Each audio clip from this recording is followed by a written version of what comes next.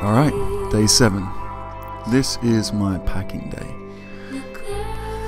I don't know, today needs to be the packing day. though. It's Sunday, uh, I've got f- some free time, so I need to use this wisely, or else it's going to be a rush. Anyway,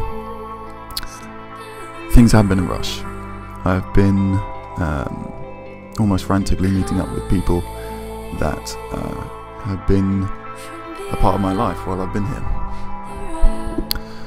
Um, and I left it way too late, you know, to organise stuff like that. Um, a lot of people didn't even realise I was leaving, and you know they really should have. I should have. Uh, I should have made it more public.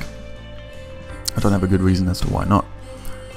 Um, but it got me thinking about keeping in touch and with organising your social life. It's kind of simple, but it just takes a bit of effort. It reminded me of a article that Ramit Sethi uh, wrote, and I'll link to it in the description. And basically, all it is is a tag.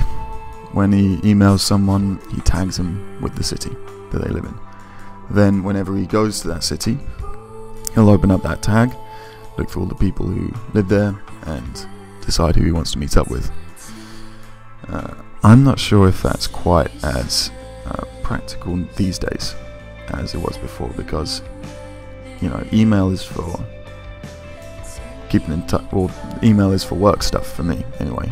That and, you know, the occasional funny meme or video that my mum's found online and, and emails me that.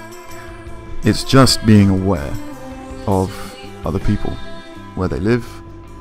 You know, if you're leaving the city, that do they know that you are leaving? Um, you know, just do they do they have time? Like, how long's it been? You need to re- refresh again, and as you as you know more and more people, it can get it can seem unmanageable. I think that's why people struggle with it because these days we know so many people. We're not just living in villages anymore, where we live and die next to the same people. So we're far past Dunbar's number in terms of how many people we have. We feel like we should keep in touch with. Really, we don't need to keep in touch with a lot of people. Uh, most people, when you see them again, you're just gonna slip right back into uh, into chatting if things if chatting was easy the first time you met. You know what I mean? Anyway, I just thought I'd share that. Uh, I might start using Airtable to organize this stuff.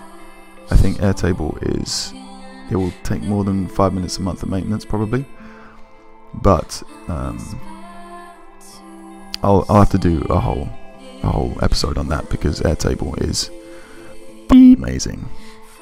That's a good chance for me to practice uh, swear beeping. Beep.